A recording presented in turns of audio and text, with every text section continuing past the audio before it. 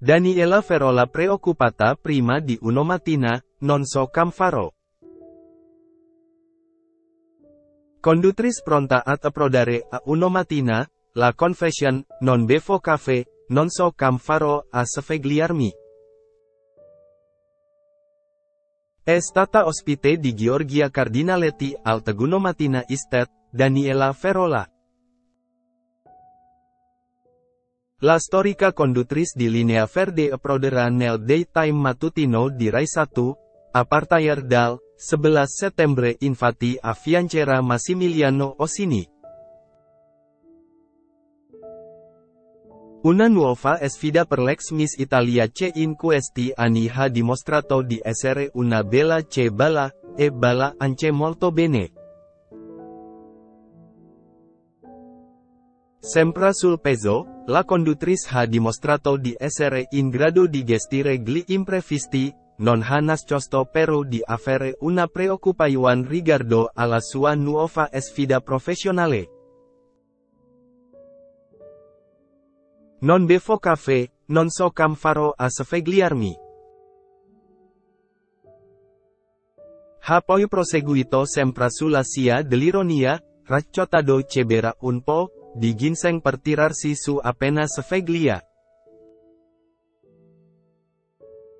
Ha chiesto consigli proprio alla giornalista di Rai 1 CH sottolineato, beh io dormo molto poco, ma il pisolino pomeridiano aiuta.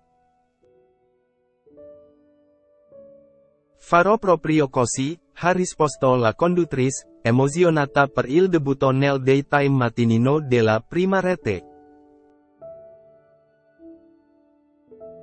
Daniela Verola non lo nasconde, non è stato facile smarcarmi dall'etichetta di Miss Italia.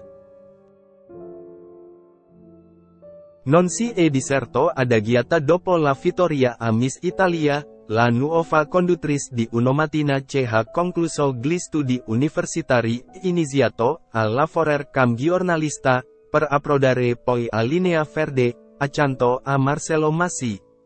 Ha dichiarato però in diretta al TG1. È stato difficile smarcarmi dall'etichetta di Miss Italia. Non nascondo che non è stato facile perché ci sono gli stereotipi, ma piano piano devi dimostrare di essere preparata, di stare sul peso, di valere. A spronarla in questi anni è la per il suo lavoro e la curiosità, che ha ammesso essere la sua spinta più grande. E ora è tutto pronto per la nuova edizione del programma mattutino di Rai 1. Conduttrice svela un retroscena su linea verde, pensavo di essere su serzi parte. Ironia e Sanfredo sono le doti principali di Daniela Verola che in questi anni ha girato l'Italia per lavoro, incontrando persone fantastiche e ammirando posti meravigliosi. Non sono mancati però gli imprevisti e i momenti divertenti. Proprio a Georgia Cardinaletti ha ammesso di aver pensato di essere stata presa di mira per uno serzo, di fronte a un interlocutore particolarmente vivace che ha iniziato a disegnare cantando. Pensavo di essere su scherzi a parte, guardavo gli autori e mi dicevo, ma è uno scherzo. Vedevo che ridevano e mi sono tranquillizzata. Il signore era molto simpatico e il video è diventato virale.